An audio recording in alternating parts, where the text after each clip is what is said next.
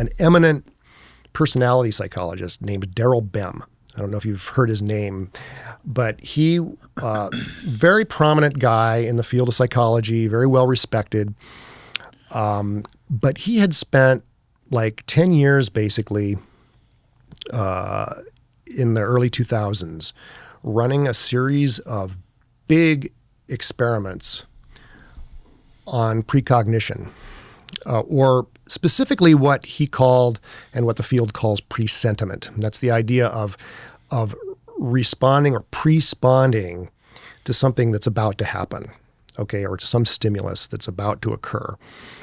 And what he did was he put large he would he would these were big studies. He wanted this to be you know, he wanted to have enough people that there would be statistical significance in these studies, uh, and they were relatively simple, like paradigms, because he wanted other laboratories to be able to replicate these things.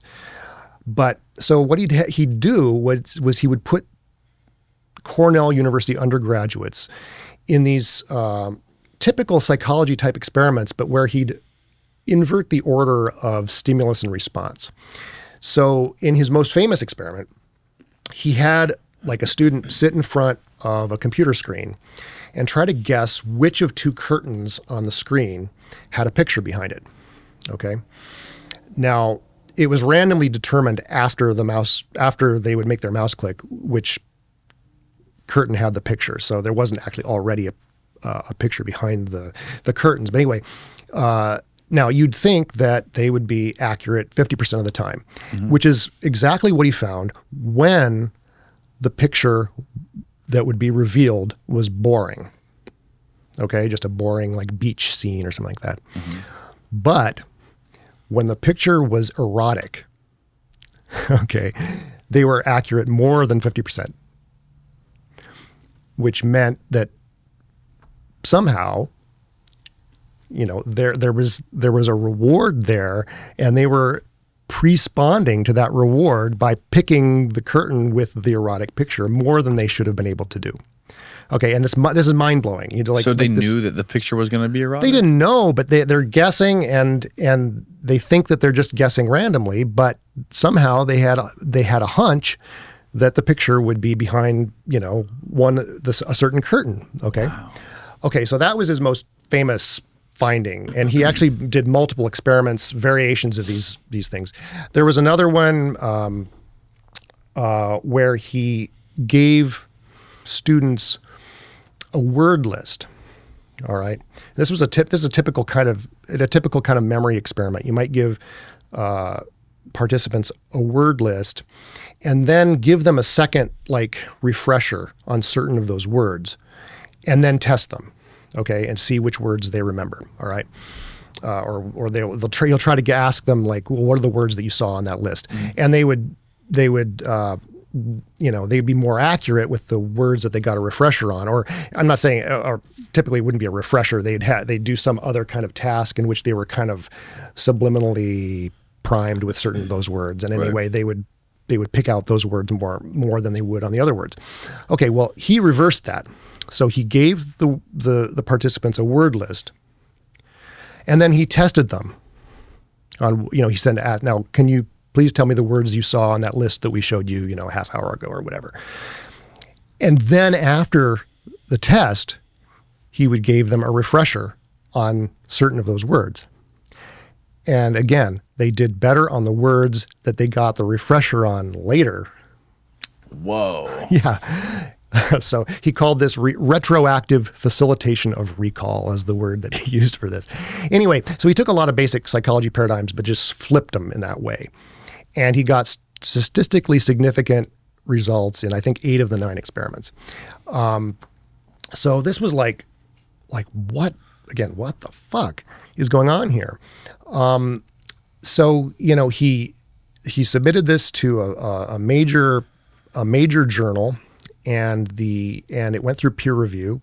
Peer you know, peer review could not find a problem with it, but the editors like attached a note like saying, you know, we can't we, we have a responsibility to publish this because it went through peer review, but we can't like we can't explain this. It goes against all of our beliefs and so on. So they even had to like attach a disclaimer essentially to this article. Wow. All right. Uh, anyway, this this it's, Where it's- was it? Was it published on a, in a journal or something? yeah uh, the Journal of.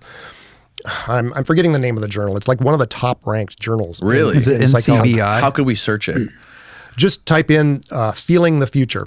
Feeling the future. Yeah, Daryl Bem, B E M is his uh, his last name. Feeling the future. It's very famous now, Okay. and uh, and of course, there's like a million people trying to debunk it. You know, if you go on Wikipedia, there it's like you know, there's there are cadres of people who just debunk. There you go. You know, Feeling the controversial. future. Right. Experimental evidence for anomalous retroactive influences on cognition and affect. Wow.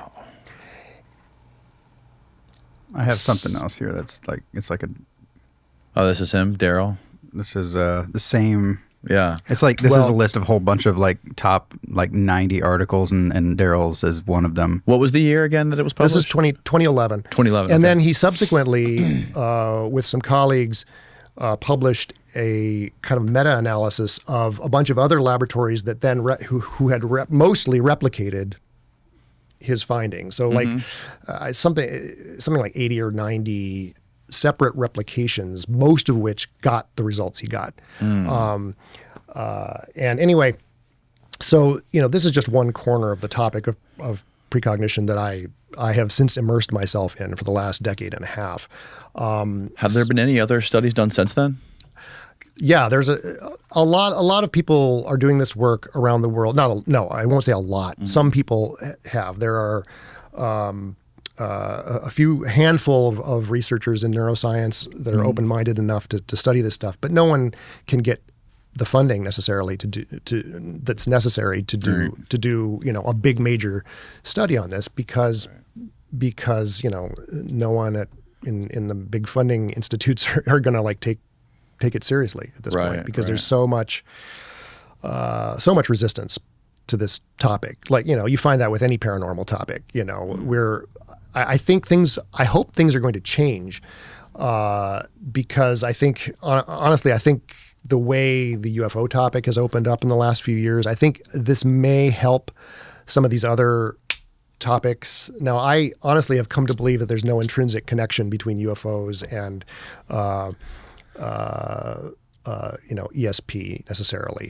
But uh, the fact that all these things are sort of stigmatized in the same way and kind of get lumped together under the cat- heading of the paranormal, uh, you know, helps. I think the, what's happening in the UFO scene right now will hopefully will kind of help Right. move uh, move things in the um, in the in the realm of ESP research.